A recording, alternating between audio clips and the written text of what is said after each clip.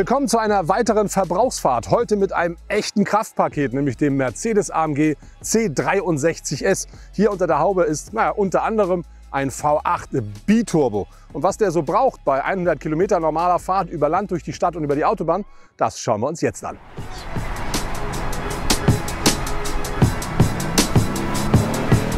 Los geht's mit unserer Verbrauchsfahrt im Mercedes AMG C63S, dem ja, der aktuell stärksten C-Klasse im Markt, zumindest serienmäßig.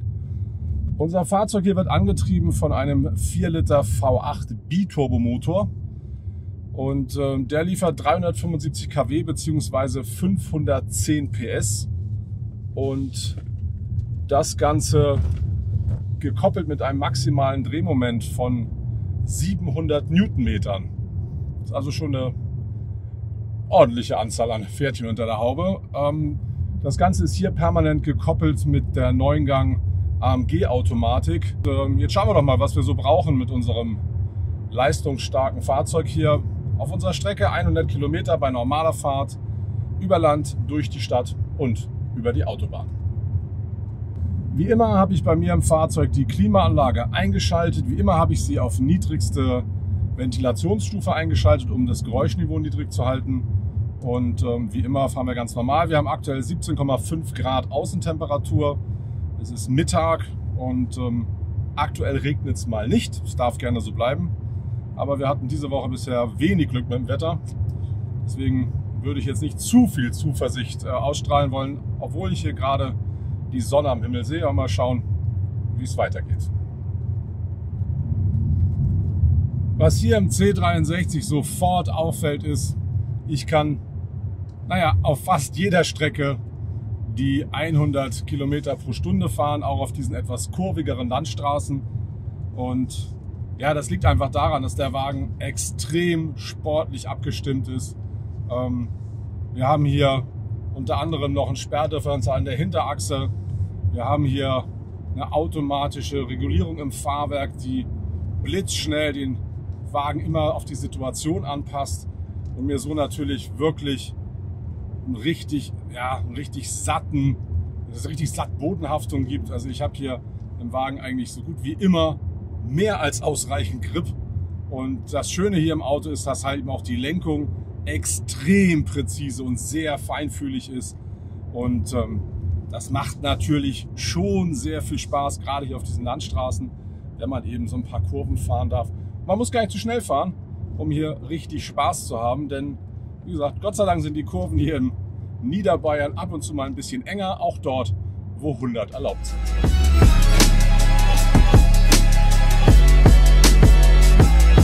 Der AMG C63S ist von vorne sehr gut zu erkennen durch den großen AMG Kühlergrill mit den aufstehenden Rippen. Das ist ein ganz klares Kennzeichen für die Top-Version, denn sowas finden wir normalerweise nur zum Beispiel beim AMG GT. Und wenn wir dann vorne weiterschauen und gucken uns den Stoßfänger an, wir haben hier diesen diesen extra Schwung drin im vorderen Stoßfänger mit der scharfen Abrisskante hier. Das ist auch wieder ganz klarer Hinweis auf die Top-Motorisierung. Und bei dieser Motorisierung sind außerdem die seitlichen Lufteinlässe auch noch mal größer gestaltet. Wichtig bei unserem Auto, wir haben das sogenannte Night-Paket an Bord. Das kostet rund 1100 Euro. Und damit sind hier einige Elemente in glänzend schwarz gehalten. Das sorgt einfach für einen größeren Kontrast oder je nach Farbgebung auch für fließendere Übergänge. Und ganz wichtig, wir haben bei uns am Fahrzeug das Lichtpaket mit an Bord. Das heißt, wir haben hier die sogenannten Multibeam-Scheinwerfer mit Ultra-Range Fernlicht. Das Package kostet hier knapp über 900 Euro. Außerdem wichtig beim Auto, wenn ihr von vorne anschaut, ist, er ist ganz klar breiter als die normale C-Klasse und das kann man sehr gut hier an den Schwellern erkennen.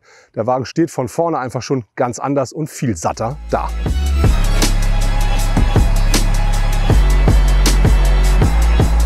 Die Sitze hier im AMG, die bieten unglaublich viel Seitenhalt. Und ganz wichtig, sie sind auch nochmal einstellbar. Das heißt, ich kann hier unten am Sitz ähm, sowohl die mal, Freiheit am Becken wie auch die Seitenwangen des Sitzes nochmal einstellen und sie enger oder weiter machen. Und ähm, das Ganze hat allerdings einen kleinen Nachteil, denn bei mir im Auto sind die sogenannten AMG Performance Sitze eingebaut. Das ist Sonderausstattung oder Sonderzubehör und kostet leider 1950 Euro Aufpreis, aber ich wette auch die normalen AMG-Sitze, die hier verbaut sind, bieten sicherlich genug Seitenhalt. Wichtig ist aber zu wissen, das sind halt echte Sportsitze Und dementsprechend bieten sie eigentlich noch genug Komfort, aber wenn man mit dem Auto länger unterwegs ist, dann muss man ganz ehrlich sagen, gibt sicherlich auch eine Möglichkeit, irgendwo anders bequemer zu sitzen. Das Platzangebot hier im AMG C63 oder C63S ist für Fahrer und Beifahrer wirklich sehr ordentlich. Also ich sitze hier sehr gut, habe mehr als genug Platz. Auch hier oben, wie man sieht, Kopffreiheit noch reichlich da und das, obwohl ich recht gerade im Auto sitze. Ähm, wie es hinter mir aussieht das, aussieht, das schauen wir uns jetzt nochmal bei einem kurzen Stop an. Aber nichtsdestotrotz, auch für große Personen wie für mich ist das Fahrzeug als Fahrer oder Beifahrer sehr, sehr gut geeignet. Der einzige Nachteil, wie in vielen anderen AMG-Modellen auch, die Kopfstütze hier, die integrierte Kopfstütze im Sportsitz ist für mich ein bisschen zu niedrig und ist leider, da sie eben integriert ist, nicht höhenverstellbar.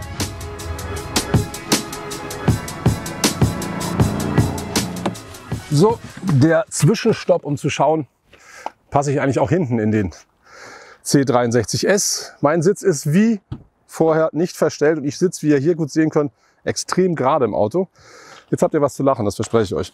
Ich muss nämlich da rein und das könnte etwas eng werden. Also meine Füße passen hier unten kaum noch drunter. Meine Knie liegen an. Ich kann den Fuß noch nicht mal gerade machen. Ich stoße mit dem Kopf an. Für mich hinter mir ist das nix. Aber ich denke, bei normalen großen Menschen könnte es funktionieren. Obwohl meine Füße muss ich jetzt gleich mal irgendwie wieder da rauskriegen.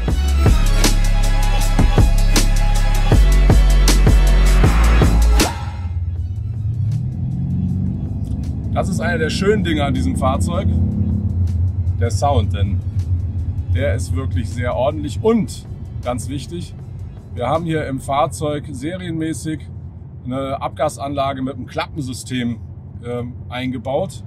Und dieses Fahrzeug hier hat sogar leider auch wieder Sonderausstattung, sogar nochmal eine Steigerung dieser Geschichte und eine Performance-Abgasanlage dran mit einer zusätzlichen Klappensteuerung. Und damit kann man hier im Auto noch mehr Lärm machen. Und das kann ich hier sehr schön demonstrieren, indem ich einfach mal auf den Knopf hier unten drücke. Und mal kurz sage, mach mal den Sound an. Und dann hört sich das so an. Machen wir jetzt mal wieder aus, stört beim Moderieren. Hier im Fahrzeug ist normalerweise in der Mittelkonsole ein 7 Zoll hochauflösendes Display äh, eingebaut. Das ähm, gibt es ohne Aufpreis dazu. Und äh, wenn man mehr haben will, dann gibt es auch ein rund 10 Zoll großes Display. Das allerdings ist aufpreispflichtig. Das gibt es aber auch ähm, in Verbindung mit dem Command Online Navigations- oder Infotainment-System. Und äh, dann ist es da im Preis inbegriffen. Der Preis allerdings für dieses Command Online liegt bei 2450 Euro. Ebenfalls leider nicht Serien, aber hier bei uns im Fahrzeug ähm, vorhanden ist das rund 12,3 Zoll große voll digitale Cockpit. Und das muss ich sagen, ist sehr, sehr schön abzulesen. Vor allem bietet es, wie man hier auch sehen kann, die unterschiedlichsten Möglichkeiten, Dinge an sich anzeigen zu lassen. Ich habe hier verschiedene Stile, die ich wählen kann. Ähm, das heißt, ich kann zum Beispiel mir die Anzeigestile aussuchen, die ich wählen möchte. Da gibt es jetzt an der Zahl drei, nämlich einmal Supersport, das ist der mit dem großen zentralen ähm, Drehzahlmesser mit der großen Ganganzeige. Es gibt aber dann zum Beispiel auch die sportliche Variante. Das sind zwei ja, sehr dominante, angedeutete Rundinstrumente mit Zusatzinformationen da drin. Und es gibt halt auch noch eine, die heißt klassisch. Und da sieht das Ganze ein bisschen reduzierter aus, alles eher so in blau gehalten, bisschen unauffälliger. Ähm, ich persönlich finde aber diese Supersportanzeige zum Fahren tatsächlich sehr, sehr schön, denn ähm, damit habe ich genau die Informationen im Zentrum meines Blickfeldes, die mich am meisten interessieren, nämlich die Drehzahl, die Ganganzeige und im Zweifelsfall auf öffentlichen Straßen natürlich die Geschwindigkeit. Die Materialauswahl und die Verarbeitung hier in dem C63S, dieses, ja, ich meine, über jeden Zweifel erhaben, ist vielleicht zu viel gesagt, aber im Grunde genommen ist es das. Ich habe wirklich tolle Materialien, so wie ich es von AMG kenne, die sind sehr schön verarbeitet. Ich habe hier im Auto schöne Ziernähte, sowohl auf den Sitzen wie auch hier oben am Armaturenbrett oder im Lenkrad. Das Ganze, ja, die ganze Anmutung, die ist einfach sehr, sehr schön. Auch sehr dynamisch, denn ich habe hier unter anderem auch noch so metallische Oberflächen. Hier in der Mittelkonsole so einen ja, hellen Carbon-Look. Und das finde ich macht insgesamt einfach einen sehr, sehr guten, sehr hochwertigen Eindruck und vermittelt durch diese Farb- und Materialkombination auch nochmal so ein, ja, extra Sportlichkeit. Und das passt einfach sehr gut zum Fahrzeug. Es gibt hier im C63S unterschiedliche Fahrprogramme neben dem Individualprogramm, das ich eben mir so konfigurieren kann, wie ich es will, gibt es ja auch eins, das heißt Glätte, also für sag mal, rutschige Untergründe. Dann habe ich eins, das nennt sich Komfort. Das ist das, in dem ich normalerweise unterwegs bin. Darüber hinaus gibt es dann noch Sport und Sport Plus, Sport Plus. Da wird das Fahrzeug halt immer schärfer geschaltet, lässt immer noch mal mehr zu. Und dann gibt es noch mal, allerdings nur für den, für den 63S, das Fahrprogramm Race. Und das ist halt wirklich so die oberste Spitze dessen, was man hier noch zulassen kann, ohne dass es, naja, unsicher wird. Ähm, und wenn ihr hier umschaltet, so wie ich das jetzt zum Beispiel mache, von Komfort auf Sport, verändert sich sofort die Drehzahl. Das Auto ist sofort straffer, fühlt sich einfach knackiger an. Auf Sport Plus geht's nochmal, auch mit der Drehzahl nach oben, nochmal das Ansprechverhalten verändert. Und äh, wenn ich dann eben gesagt auf Race gehe, dann äh, versucht das Fahrzeug im Endeffekt mir jegliches Limit zu nehmen. Das heißt, dass ich aus dem Auto wirklich alles rausholen kann, was irgendwie geht. Und äh, das lassen wir für die normale Fahrt jetzt mal beiseite. Denn auch im Komfortmodus ist der Wagen bereits so sportlich, dass man kaum mehr braucht. Apropos Sportlichkeit, es gibt bei diesem Fahrzeug nämlich einen ganz klaren Nachteil und der ist extrem wichtig, wenn ihr euch entscheidet, diesen Wagen zu kaufen. Der C63S, der ist bereits im Komfortmodus extrem straff abgestimmt. Und mit extrem straff meine ich extrem straff. Wenn ihr zum Beispiel, so wie ich das hatte, über eine Landstraße fahrt und da war vor fünf Tagen ein Traktor und hat ein bisschen Dreck verloren und der wurde seitdem festgefahren. Das heißt, wir reden über so ein kleines bisschen Dreck auf der Straße, dann merkt ihr das sofort in der Lenkung, ihr merkt das sofort auch im Fahrzeug, also auch im Hintern, dass ihr über etwas drüber fahrt, das auf diese glatte Straße eigentlich hingehört. Das hat große Vorteile, wenn es darum geht, wie viel Rückmeldung kriege ich vom Auto. Und das ist hier tatsächlich so, dass man sagen muss, das überfordert einen schon fast beim normalen Fahren. Wer es aber will, der kriegt wirklich alles an Infos über eben diese, diese sagen wir, Sensorik, die man sich nur wünschen kann. Für die tatsächlich komfortable Fahrt, zum Beispiel über Kopfsteinpflaster oder durch die Stadt auf sagen wir, unebeneren Flächen oder ich hatte es auch auf der Autobahn, eine Autobahn mit Querrillen. Ähm, das ist tatsächlich nicht komfortabel. Ihr sitzt dann wirklich in einem Sportwagen und dessen muss man sich bewusst sein, wenn man ihn kauft. Denn ihr fahrt damit vielleicht auch Oma besuchen und Oma wohnt halt weit weg. Und dann ist das eben nicht so komfortabel. Und das ist genau das, was wir hier auch bei den Sitzen eben haben. Die sind bequem und sind komfortabel im Grunde genommen, sind aber eben Sportsitze. Und die meinen das ernst bei AMG. Das heißt, dieser Sitz bietet natürlich nicht den Komfort, den ich zum Beispiel im normalen Sitz der C-Klasse erwarten kann. Dafür sitze ich aber, naja, einfach mal, sag mal, fester im Sattel und habe das Auto dann, wenn es drauf ankommt, entsprechend gut unter Kontrolle.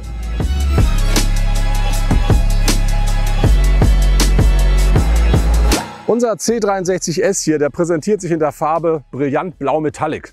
Und die kostet leider rund 900 Euro extra, aber mein Favorit dafür wäre sowieso eher ein dunkles Grau und möglichst als Mattlack. Wenn wir uns hier vorne die Rathäuser, die verbreiterten anschauen, dann stehen da drin wunderschöne 19 Zöller. Wichtig ist, die S-Version kommt serienmäßig auf 19 Zöllern, die normale 63er Version auf 18 Zöllern. Das hier sind aber nicht die Serienräder, sondern das sind Schmiederäder. Leider aufpreispflichtig, rund 2000 Euro. Wenn euch das Auto insgesamt anschaut, der ist ein Takt flacher als die normale C-Klasse und eine ganze Ecke länger. Und dadurch wirkt er einfach nochmal gestreckter und nochmal dynamischer. Und das Ganze wird hier bei uns noch unterstützt durch das Carbon-Paket. Denn wir haben hier zum Beispiel den Rückspiegel und auch hinten den Abriss-Spoiler, die Abrisskante auf der Heckklappe in Carbon. Und dann, wenn wir uns mal wieder nach vorne bewegen würden, stellen wir fest, in unseren wunderschönen Schmiederädern da passt diese große Scheibe von der Bremse gerade eben so rein. Und die Bremssättel haben eine völlig andere Farbe als normal. Und das liegt daran, dass wir hier die Keramikbremse verbaut haben. Leider kostet die auch 5000 Euro, aber die hat den großen Vorteil, dass wenn ihr das Auto wirklich extrem beansprucht, dann ist die immer noch sehr fein dosierbar und im Zweifelsfall packt sie richtig fest zu.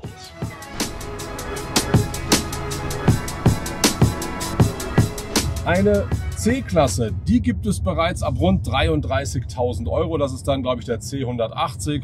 Also ganz normale C-Klasse Basisausstattung. Wenn ihr einen AMG C63S haben wollt, dann müsst ihr allerdings schon knapp unter 87.000 Euro anlegen. Also eine doch völlig andere Zahl.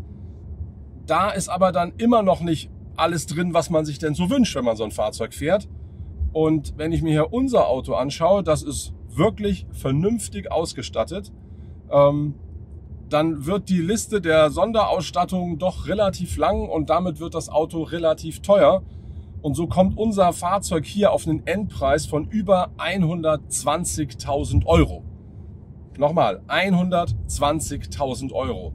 Und damit ihr mal seht, wie das passiert oder woher das kommt, hier mal die Liste der Sonderausstattungsmerkmale, die bei unserem Fahrzeug dazu konfiguriert wurden.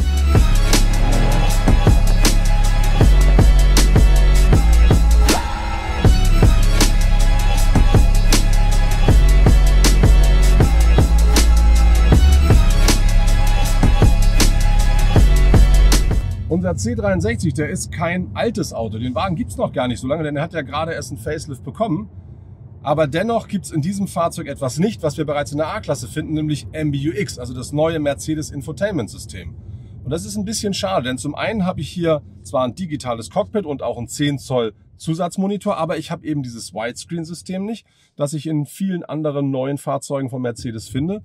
Und ähm, ich kann hier natürlich MBUX äh, nicht, ich kann hier natürlich Apple CarPlay nutzen und Android Auto nutzen, um meine Mobilgeräte zu verbinden, aber dieses MBUX bietet halt nochmal deutlich mehr. Und wenn wir zum Beispiel das Thema Sprachsteuerung reden, dann funktioniert die hier auch, aber kann man halt mit MBUX nicht vergleichen. Und ich hoffe einfach mal, dass Mercedes spätestens beim nächsten Update das auch hier in der C-Klasse beziehungsweise den C63 unterbringt. So, jetzt geht's gleich für mich auf die Autobahn. Und ähm, wir haben jetzt 29 Kilometer hinter uns, aktuellen Durchschnittsverbrauch von 8,8 Litern. Und ähm, ja, auf der Autobahn gebe ich mal eben ein bisschen Gas, denn was wichtig ist bei dem Auto, der beschleunigt dank der Leistung nicht nur in 4 Sekunden von 0 auf 100, nein, er ist auch, wenn er nicht abgeregelt ist, 290 Kilometer pro Stunde schnell. So, jetzt genießen wir mal kurz den Sound mit offenem Auspuff. Da könnt ihr sehr schnell sehen, egal wen oder was ihr hier auf der Autobahn vor euch habt, ihr seid relativ schnell vorbei. So, Lärmbelästigung jetzt natürlich ähm, schon sehr ordentlich. Wir fahren jetzt aber auch schon über 200. Nur damit ihr mal ein Gefühl dafür kriegt, wie schnell der beschleunigt. Wir sind jetzt bei 250 gleich äh, und werden da jetzt mal aufhören, denn da vorne blinken bunte Lichter ich schalte auch mal den Auspuff wieder leiser. Das war übrigens weder im Sport noch im Sport Plus Modus. Das war Komfort. Da komm raus. So. Also er beschleunigt wirklich unglaublich schnell. Was man hier übrigens aussieht, ist, dass sich unglaublich schnell der Verbrauch verändert. Denn jetzt wird er schon angezeigt mit 10,6 Litern. Aber es ist wirklich so, dass das ist einfach kein Auto, mit dem man cruist, mit dem man 120 fährt die ganze Zeit. Das macht man einfach nicht. Ähm, hier fährt man doch tatsächlich auch mal ein bisschen schneller. Und ähm, das macht richtig Spaß, aber man muss auch wirklich die Augen offen halten, denn nicht jeder Verkehrsteilnehmer auf der Autobahn versteht, dass es Autos gibt, die so schnell sind und die vor allen Dingen auch so schnell beschleunigen. Dieser Kickdown ist krass. Schon wieder über 220 unglaublich. Was hier allerdings auffällt, ist beim Auto so bis, ich würde mal sagen, 180. Ah, jetzt müssen wir eh langsam fahren. Also bis ca. 180, so wie jetzt, wir sind jetzt bei 170 mit dem Dreh, ist er relativ leise. Also da ist es wirklich angenehm hier im Fahrzeug. Ähm, es sei denn, ihr nutzt die Auspuffklappen dann nicht mehr.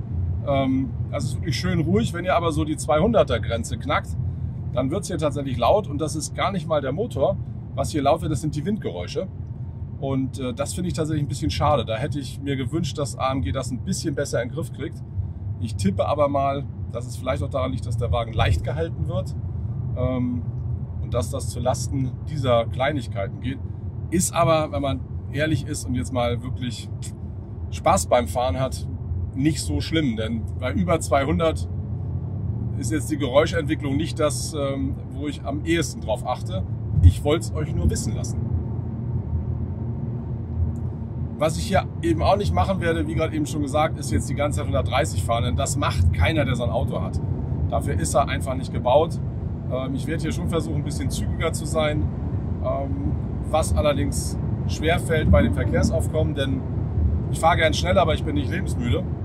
Und ich möchte auch nicht den Leuten auf den Pelz rücken und hier dicht auffahren. Das halte ich auch nicht für so clever. Ähm, wir möchten uns schon so ein bisschen an die Regeln halten und trotzdem Spaß haben. Aber wie ihr es gerade wieder hört, wir sind jetzt bei 100, ich muss um die Kamera gucken, 160. Da ist das Geräuschniveau noch in Ordnung. Wenn ich schneller, 180, jetzt kommt der Wind. Und, ähm, aber wie gesagt, es gibt schlimmere Schicksale, als in einem C63S über 200 zu fahren. Übrigens noch mal kurz was zum Verbrauch. Ich bin mit dem Fahrzeug vor dieser Testfahrt schon eine längere Strecke unterwegs gewesen und waren insgesamt, ich glaube, über 800 Kilometer, meine ich, die ich damit gefahren bin. So, jetzt haben wir freie Fahrt. Wir müssen nochmal aus. Über 800 Kilometer und wir sind normal gefahren, typisch Deutschland, mit der Autobahn. Viele äh, Geschwindigkeitsbeschränkungen, hier und da mal ein Stau, äh, mal langsam fahren, aber trotzdem hat unser Verbrauch am Ende dennoch bei unter 12 Litern gelegen, was mich tatsächlich extrem überrascht hat. So, was ihr jetzt schön sehen könnt bei 250, der Wagen ist hart, dass ihr an den Bewegungen von meinem Körper sehen könnt, aber das Schöne ist, er liegt einfach richtig gut auf der Straße. Ich mal ein bisschen langsam machen, da ist einer hinterm LKW. Er liegt einfach immer super auf der Piste, sodass ihr nie das Gefühl habt, ihr könntet zu schnell sein. Und das fällt besonders auf, wenn ihr mal eine freie Autobahn habt und einfach mal äh, langgezogene Autobahnkurven flott fahren könnt. Da, wo ihr mit einem anderen Auto anfangt und sagt, boah, fühle mich jetzt nicht mehr so richtig wohl, geht es hier immer noch schön der Spur nach. Das Einzige, was hier ebenfalls auffällt, ist, das Lenkrad ist halt extrem direkt. Das heißt, jeder Stoß, den ihr von, von der Bodenwelle oder so kriegt, den seht ihr sofort in der Lenkung.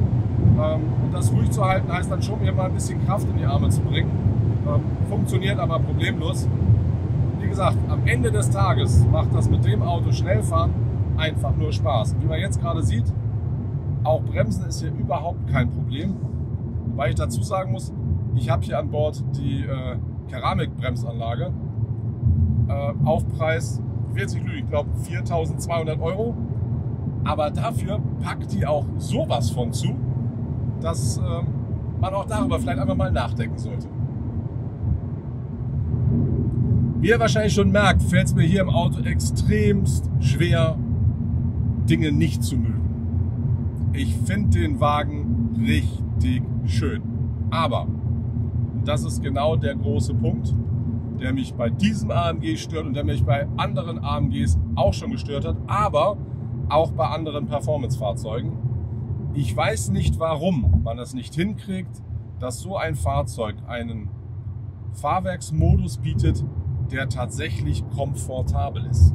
Das heißt, wenn ich sage, okay, ich möchte jetzt wirklich nur in der Stadt fahren oder ich habe mal eine Strecke, die nicht so 100% eben ist, dass ich einfach mal einen Fahrwerksmodi wählen kann, der eben nicht jeden Kieselstein sofort komplett durchmeldet. Ich habe keinen Schimmer, warum das nicht geht. Vielleicht weiß einer von euch das und vielleicht werde ich einfach die Kollegen von AMG beim nächsten Mal nochmal fragen, ähm, woran das liegt. Denn es ist mir tatsächlich nicht klar. Ich finde es einfach nur schade. Ja, ich will so einen Wagen fahren. Ich finde das super, was der kann. Es macht unglaublich viel Spaß. Aber ich will eben auch mal in Ruhe über eine Strecke rollen können, die jetzt eben nicht glatt ist wie ein Babypopo, ohne dass ich permanent das Gefühl habe, ich kriege hier immer irgendwie irgendwelche Rückmeldungen. Ähm, vielleicht wisst ihr ja mehr als ich. Jetzt, wo ich hier gerade durch die Schilder gezwungen werde, langsam und ruhig zu fahren, kann ich zum Beispiel eine Sache ausprobieren, die hier im Auto sehr gut funktioniert, nämlich der aktive Spurhalteassistent in Verbindung mit dem adaptiven Tempomaten. Leider ist das in dieser Form auch aufpreispflichtig, aber ganz ehrlich, Mercedes hat bei diesem Thema adaptiven Tempomaten und ähm, Spurhalteassistenten, wie ich finde, einen sehr ordentlichen Job gemacht. Der hält die Distanz zum Vordermann vernünftig, es läuft alles smooth und easy und ist sehr, sehr, ja, sehr gut dosiert. Also es macht tatsächlich Spaß, so zu fahren. Es ist dann oder wäre dann entspannt, wenn ich in einem anderen Auto sitzen würde. Aber grundsätzlich, die Funktion ist sehr schön und ist auch, wie gesagt, sehr schön abgestimmt.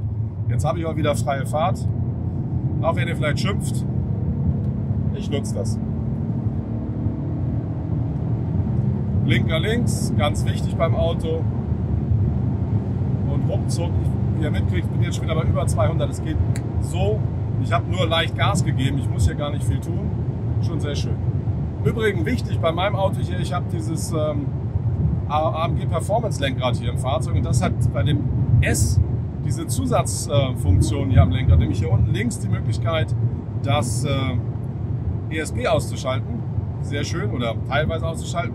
Daneben habe ich meine geliebte Auspufftaste, wo die Klappen aufgemacht werden. Sehr, sehr schön. Ähm, und ich habe rechts die Möglichkeit, die Fahrprogramme zu wählen. Das heißt, ich kann hier einfach am Regler drehen und kann eben von Komfort auf S, auf Sport Plus oder eben auf Race umschalten. Und das heißt, ich muss dafür die Hände nicht mehr vom Lenkrad nehmen. Finde ich persönlich eine sehr ordentliche Idee. Macht absolut Sinn und die Elemente stören sonst überhaupt nicht. Außerdem wichtig beim Lenkrad, klar, es ist unten abgeflacht, wie es sich gehört für ein Sportlenkrad. Und ich habe hier ähm, große Schaltpedal, die wirklich richtig schön in der Hand liegen, sich gut anfassen lassen. Und habe natürlich auch hier vorne die neuen Touch-Sensoren, die wir bei den Mercedes-Fahrzeugen mittlerweile kennen. Mit dem linken kann ich den linken Teil äh, hier, im, also das Cockpit in dem Fall, komplett steuern. Mit dem rechten kann ich mein Infotainment komplett steuern. Finde ich persönlich eine sehr ordentliche Sache. Und ansonsten ist auch dieses Lenkrad eigentlich ja, ein echter Hingucker. So, unsere Autobahnfahrt, die ist jetzt vorüber. Wir haben jetzt insgesamt 40 Minuten Fahrzeit, 54 Kilometer gefahren und ähm, haben jetzt aktuell einen Verbrauch hier, der angezeigt wird, von 12,5 Litern auf 100 gefahrene Kilometer. Aber, wie ich gerade eben schon erklärt habe, ich hoffe, es war nicht zu laut, ich bin mit dem Auto eine längere Strecke gefahren und zwar gemischt. Landstraße, äh, Stadt und viel Autobahn. Ähm, weiß nicht, warum der vor mir nicht fährt, aber gut. Und hatte am Schluss einen Durchschnittsverbrauch von unter 12 Litern und habe tatsächlich nicht auf den Verbrauch geguckt. Ich bin einfach nur gefahren. Ja, ich hatte zwischendurch einen Stau, auch mehr als einen. Und ja, ich hatte zwischendurch typisch für deutsche Autobahnen eine Geschwindigkeitsbeschränkung, auch mehr als eine. Aber ich bin zwischendurch auch mal kurzzeitig 270 gefahren. Ähm, und da, wo es ging, gerade auf dem Rückweg, den wir hatten, das war ungefähr halbe halbe die Strecke, ähm, bin ich auch die ganze Zeit, soweit es irgendwie ging, zügig gefahren. Und ich finde, das ist ein Wert, mit dem ich mehr als leben kann bei so einem Fahrzeug. Ähm, wenn ich eben sage, das ist so das Typische, was wir auf der Autobahn vorfinden und das Typische, was wir über Land vorfinden, was ich nicht gemacht habe. Ich bin halt nicht so viel damit in der Stadt gewesen, aber nichtsdestotrotz nur, dass ihr eben nicht jetzt Angst habt, oh, wenn ich den Wagen mal schnell irgendwo hinfahre, bin ich direkt bei 18, 19 Litern. Natürlich braucht er, wenn ihr den Fuß voll durchtretet, richtig Sprit. Selbstverständlich braucht er das, aber er braucht es eben nicht, wenn ihr normal Autobahn fahrt und fahrt auch mal schnell. Ähm, denn unsere Autobahnen aufgrund des Verkehrsaufkommens und aufgrund der Regulierung sorgen einfach dafür, dass der Durchschnittsverbrauch eben doch immer noch in einem, ja, in einem Bereich bleibt, wo man nicht einen Kleinkredit braucht, wenn man äh, mit einem Auto 500 Kilometer fährt. So, jetzt fahren wir gleich mal Richtung Stadtgebiet. Da geht es dann ein bisschen ruhiger zu.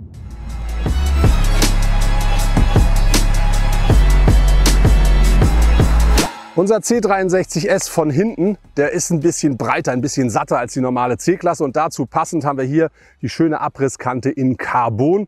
Ganz wichtig außerdem, wir haben Rückleuchte in LED-Technologie und um diesen sportlichen Look des Fahrzeugs so ein bisschen zu unterstreichen, gibt's hier diesen fetten Diffusor mit der zusätzlichen Abrisskante. Ein ganz klares Kennzeichen für die Top-Version.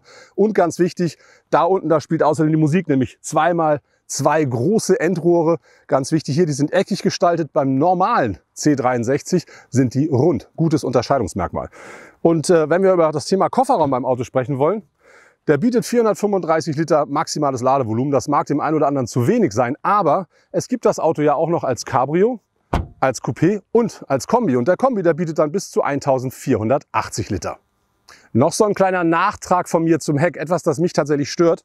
Das ist hier unten. Ja, ich finde diese Auspuff-Endtöpfe hier wirklich schön, aber die sind leider nicht echt. Denn wenn ihr da mal genauer reinschaut, dann stellt ihr fest, dass dahinter zwei kleine Tütchen sind, wo, da tatsächliche, wo die tatsächlichen Abgase rauskommen. Und das finde ich ein bisschen schade. Hätte ich mir einfach optisch eine schönere Lösung gewünscht.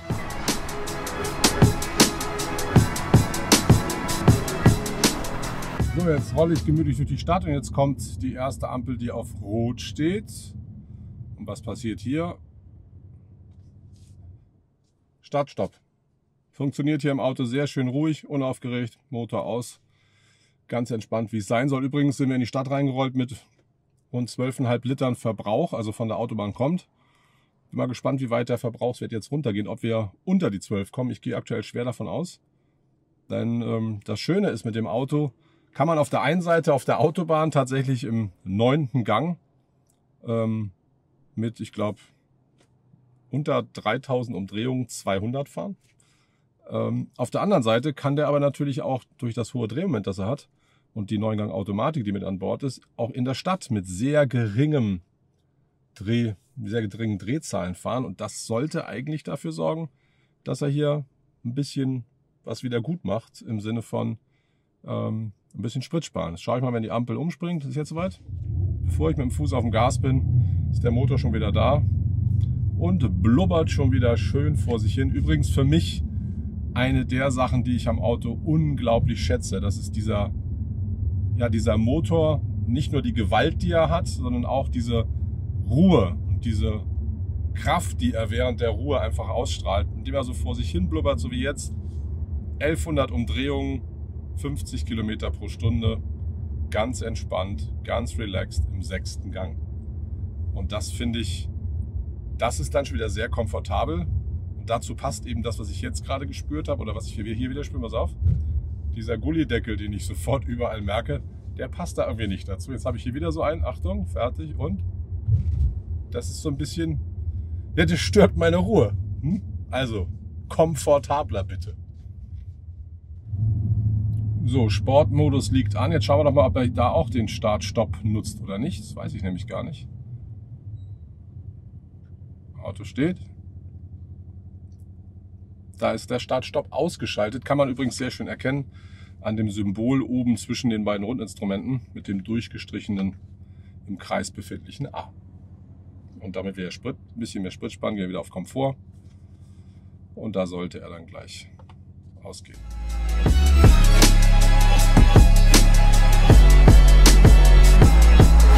Für die normale Mercedes C-Klasse gibt es unterschiedlichste Motoren, Vierzylinder, Sechszylinder und so weiter und so fort.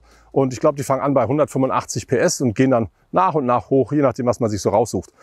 Aber unser AMG C63S hier, der spielt in einer völlig anderen Liga, denn das hier ist ein Achtzylinder Biturbomotor, 4 Liter Hubraum und der leistet 375 kW bzw. 510 PS, maximal 700 Newtonmeter Drehmoment, ist gekoppelt mit der 9-Gang AMG Speedshift Automatik und das reicht hier beim Fahrzeug für ganz erstaunliche Fahrwerte. 0 auf 100 in nur 4 Sekunden, Topspeed, wenn er offen ist, also mit dem AMG Drivers Package, 290 Kilometer pro Stunde. Ich denke, das sollte genügen.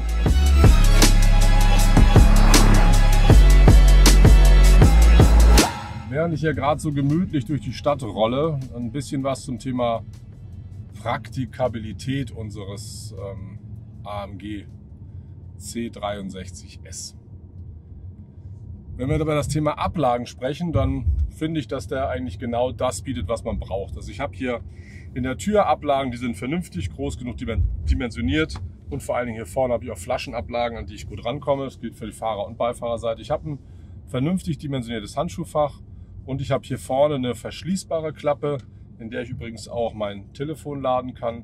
Ähm, die ist zweigeteilt, ein bisschen nach vorne rein, super für ein Telefon, passt zum Beispiel ein iPhone 10 auch locker rein. Und dann haben hier so einen Querbereich, wo ein Schlüssel oder ein Portemonnaie super reinpasst.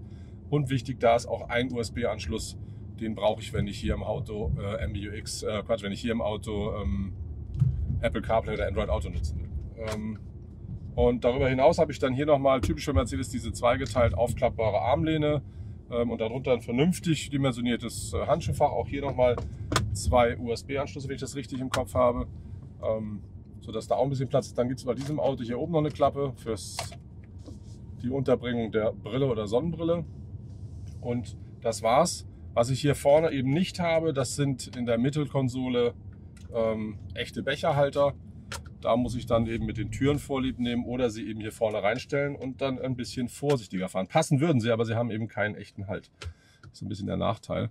Aber auch hinten in den Türen sind die seitlichen Ablagen, wie ich finde, völlig normal dimensioniert und damit ist er für das, was er, wofür er steht, finde ich, gut ausgerüstet, wenn es ums Thema Ablagen geht. So, aktuell haben wir 62 Kilometer hinter uns, immer noch in der Stadt, aktuell 12,3 Liter Durchschnittsverbrauch angezeigt.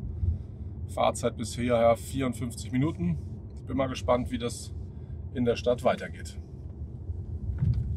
So, und jetzt sind wir auf so einer etwas unebeneren Straße hier in Mittellandshut. Und hier merkt man eben, wie straff das Fahrwerk wirklich ist, denn ich kriege hier tatsächlich jede Unebenheit im Boden mit, wie vorher schon erwähnt. Und das wird gleich noch einen Tacken schlimmer, denn jetzt wartet da vorne Kopfsteinpflaster auf uns und das finde ich, solltet ihr tatsächlich mal mitkriegen, wie sich das dann anfühlt oder wie viel Bewegung und Lärm dann ins Auto kommt. Das hier ist jetzt Kopfsteinpflaster und diese Unebenheiten merke ich natürlich in anderen Fahrzeugen auch, aber sie sind da einfach sanfter. Und äh, jetzt wird es noch ein bisschen schlimmer, weil jetzt kommt das gröbere Kopfsteinpflaster. Und ich merke tatsächlich das in der Lenkung ganz deutlich. Und ich merke es eben auch im gesamten Fahrzeug. Überall ähm, kommen diese, diese Stöße doch deutlich stärker durch als in vielen anderen Fahrzeugen. Ja, wir fahren ein Performance-Fahrzeug, das weiß ich und das ist auch schön. Aber auch das könnte doch vielleicht für solche Situationen ein bisschen mehr Komfort bieten. Um euren AMG so einzustellen, wie ihr es wirklich wollt, also noch feiner zu tun, habt ihr hier die Möglichkeit, wenn ihr das ESP hier über das Lenkrad ausschaltet oder den Sportmodus schaltet und haltet die Taste, auch die Traction Control manuell einstellen zu können. Und damit könnt ihr den Wagen noch ein bisschen schärfer machen und einfach noch ein bisschen mehr zulassen, wenn ihr denn zum Beispiel auf der Rennstrecke unterwegs seid und mal schauen wollt, wo euer Limit und nicht das Limit des Autos liegt. Meine Stadtfahrt nähert sich jetzt dem Ende und ich habe jetzt hier aktuell 75 Kilometer von meinen 100 Kilometern hinter mir und hatte ja gehofft, dass wir in der Stadt noch ein bisschen mehr Sprit einsparen können. Denn es war jetzt auch nicht so viel los, bin eigentlich schön ruhig gefahren. Aber viel hat es nicht gebracht. Wir sind jetzt immer noch bei 12,2 Liter auf 100 Kilometer im Durchschnitt. Und jetzt geht es gleich wieder auf die Landstraße. Bei normaler Fahrt, ganz wichtig. Vielleicht schaffen wir ja doch noch die 12 ähm, oder 11,9, was mich sehr freuen würde. Aber so oder so, das Auto ist angegeben mit 9,9 Litern. Ähm, da sollten wir vielleicht jetzt einfach auch mal nicht zu viel erwarten. Noch so eine kleine Anmerkung am Rande die ich nicht falsch verstanden wissen möchte. 120.000 Euro sind unverschämt viel Geld. Für die meisten von uns. Auch für mich. Nicht falsch verstehen. Aber ganz ehrlich, wenn ihr mit so einem Auto unterwegs seid und zum Beispiel auf der Autobahn fahrt und wollt schnell fahren, es gibt so Momente, da wäre es mir, glaube ich, egal. Ganz ehrlich. Ich hatte so eine Situation jetzt auf der Autobahn auch nochmal so als kleinen Hinweis auf die Leistung dieses Fahrzeugs. Vor mir war ein A35 oder um genauer zu sein ein CLA 35, also auch ein AMG, auch mal so über den Daumen, knapp 400 PS unter der Haube und fuhr mit mir zusammen schnell oder vor mir her schnell auf der Autobahn. Und dann kam der Punkt, wo er eingesehen hat, okay, wir haben drei Spuren, zwei davon sind komplett frei, also gehe ich doch mal nach rechts. Und das war in der Beschleunigung, also in der Beschleunigungsphase so von 160 hoch. Und dem Auto hier bin ich ganz locker, ganz locker, einfach so an dem vorbeigezogen. Und er hat nicht nachgegeben. Er hat einfach nur dann erkennen müssen, es gibt eben doch einen Unterschied zwischen einem AMG in der A-Klasse und einem AMG in der C-Klasse. Und nochmal, nicht falsch verstehen, ich finde dieses Auto fahrdynamisch unglaublich gut. Es macht richtig Spaß. Aber A, ist er mir einfach zu teuer. Und B, leider hier und da auch einfach nicht komfortabel genug. Auch wenn ihr da jetzt wieder draufhaut und sagt, ja Lars, das ist ein Performance-Fahrzeug, den muss nicht komfortabel sein. Habe ich leider eine andere Meinung. Ich finde, der könnte das zumindest mal versuchen. Aber gut, wie gesagt, versprochen ist versprochen. Ich frage die Kollegen von AMG, wenn ich sie das nächste Mal sehe, ob man da nicht was dran tun kann. Und für alle, die es nochmal hören wollen, einfach mal so, schalte es noch einmal um auf Sport Plus, fahre hier gemütlich mit 50 und zeige euch jetzt nochmal kurz, warum ich den Motor an diesem Auto so mag. Nämlich unter anderem deshalb.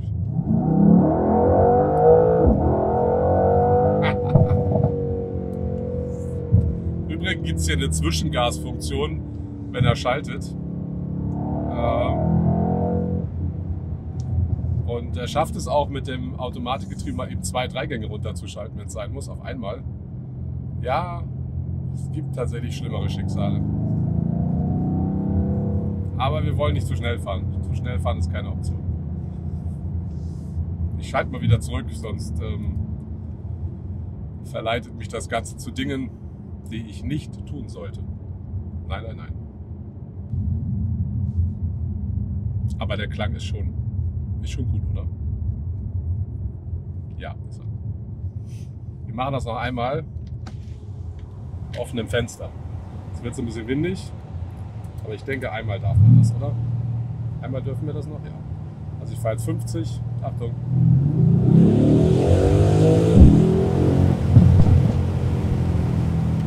Ach, unglaublich schön.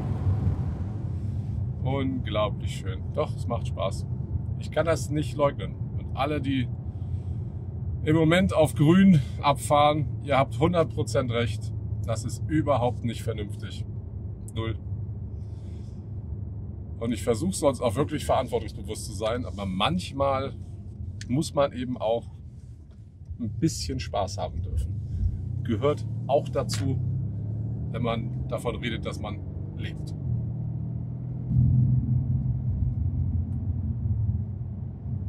So, jetzt geht es hier gemütlich mit 100 weiter. Das ist übrigens eine der Strecken, wo 100 tatsächlich Spaß macht.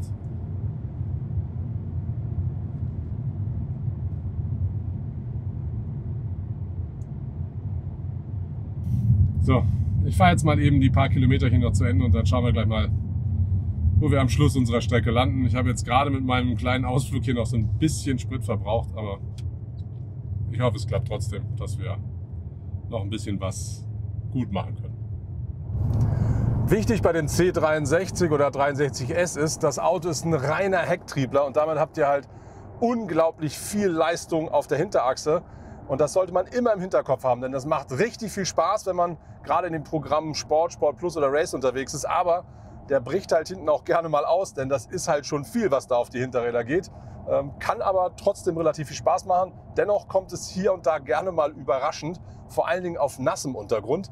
Wie meine Frau so schön sagte, sie ist noch nie bei Regen so langsam mit einem so starken Auto gefahren. Sie sagt, den hier ruhig fahren ist eigentlich nicht möglich. So, jetzt sind wir unserer Tankstelle schon sehr nah. Also knapp zwei Kilometer. Ach, nur noch knapp ein Kilometer zeigt er mir sogar jetzt an. Und ähm, ja, ich bin die letzten äh, paar Kilometerchen auf der Landstraße normal ruhig gefahren, weil da war einfach zu viel Verkehr. Wie wir sehen können, bin ich bei 11,9 Litern gelandet. Ähm, das ist schon mal eine ganz ordentliche Zahl. Dabei fällt mir was ein zum Thema äh, ruhig fahren, beziehungsweise also eigentlich genau andersrum. Was das Auto übrigens serienmäßig mit an Bord hat, ist eine sogenannte Race-Start-Funktion. Das heißt nichts anderes, als dass der Wagen mehr oder weniger vollautomatisch schnellstmöglich beschleunigt. Das habe ich jetzt während dieser Probefahrt nicht ausprobiert, aber davor.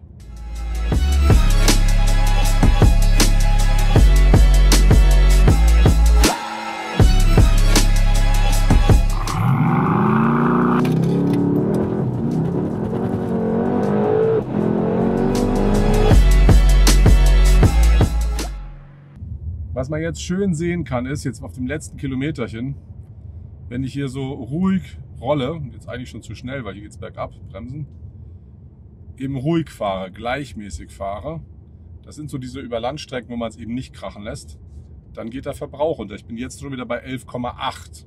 Ähm, muss aber realistisch dazu sagen, wenn ihr jetzt eher der Typ seid, der sich spät abends oder nachts eine leere Landstraße sucht und da die Kuh fliegen lässt, dann kommt ihr nicht auf so einen Wert. Das könnt ihr vergessen. Das ist das gleiche auf der Autobahn. Normal mitfahren und auch zügig fahren und zwischendurch auch mal sprinten funktioniert. Fahrt ihr nachts um drei auf eine fünfspurige Autobahn und blast mit 290, dann würde ich mich auf gar keinen Wert mehr einlassen. Ich würde auch gar keine Prognose mehr abgeben. Äh, da weiß ich wirklich nicht, wo es liegt. Aber wie gesagt, wenn ihr normal fahrt mit dem Auto und habt zwischendurch mal ein bisschen Spaß und traut euch mal ein bisschen Gas zu geben, denke ich, dass dieser Wert so mit 12, würde man sagen 12 bis 14 Litern wahrscheinlich realistisch ist. Aber nichtsdestotrotz, wir haben jetzt 11,8, wir haben 100 Kilometer, wir sind an unserer Tankstelle und jetzt wird getankt. Jetzt schauen wir doch mal, was da tatsächlich rein muss.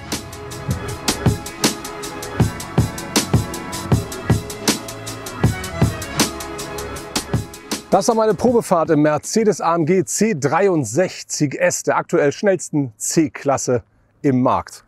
Bevor wir über den Verbrauch reden, mal kurz so ein paar Sachen zum Auto im Allgemeinen. Also, wenn ich mir das Interieur anschaue vom Wagen, das ist einfach nur schön. Da gibt's für mich auch nichts zu meckern, nichts zu mäkeln. Materialien, Verarbeitung, Optik, alles wirklich super klasse.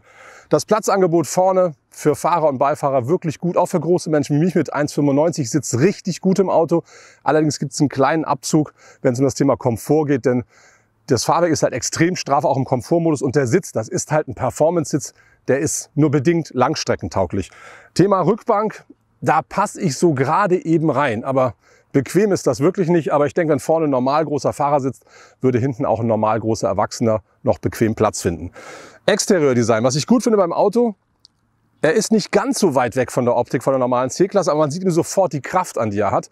Und davon hat er reichlich mit 510 PS, macht er einfach richtig Spaß. Und wie viel Wumms der auf der Autobahn hat, das habe ich ausprobieren dürfen während einer längeren Fahrt. Wirklich richtig klasse. Einfach nur wirklich richtig Spaß beim Autofahren. Jetzt aber zu dem Thema, um das es äh, beim Fahrzeug gegangen ist, bei dem Test, nämlich den Verbrauch. Mercedes AMG gibt das Fahrzeug an mit 9,9 Litern im Durchschnitt auf 100 gefahrene Kilometer. Den Wert haben wir natürlich nicht erreicht. Ich bin ganz normal gefahren, 100 Kilometer über Land, durch die Stadt und über die Autobahn. Habe auf der Autobahn ja auch mal Gas gegeben, weil das macht man mit so einem Auto. Mit dem fahre ich einfach nicht die ganze Zeit 130. Und hatte am Schluss an der Tankstelle eine Anzeige 11,8 Liter. Überhaupt kein Wert, der mich irgendwie überrascht hat, denn bei so einem Auto hatte ich eigentlich mit deutlich mehr gerechnet. Und getankt habe ich 12,5.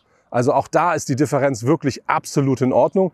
Und das ist eben dann doch nicht der Benzinvernichter, für den man ihn gerne hält. Mit dem Auto, wenn man ihn normal fährt, kann man bei rund 12 Litern ganz locker auskommen. Klar ist, tretet ihr den über die Autobahn nonstop Vollgas, wird, wird die Zahl eine völlig andere sein. Schafft aber in Deutschland gar keiner mehr, denn dafür haben wir einfach A, viel zu viel Verkehr und B, viel zu viele Schilder, die im Weg sind. Und dann ist da noch eine Sache, die mir nicht so richtig gefällt. Das ist der Preis. Der wird keinem von euch gefallen, weil der fängt halt an bei 86.000 Euro hat dann so ein paar Sachen in der Ausstattung nicht drin, die ich erwarten würde, wie zum Beispiel eine Sitzheizung oder elektrisch verstellbare Fahrersitze, sind einfach Dinge bei so einem Basispreis, die hätte ich mir eigentlich serienmäßig gewünscht, aber nichtsdestotrotz mit der Ausstattung und den Extras, die wir an Bord haben, liegt dieses Auto bei über 120.000 Euro. Das ist wirklich kein Schnäppchen und leider ist er dafür auch für mich ein bisschen zu teuer.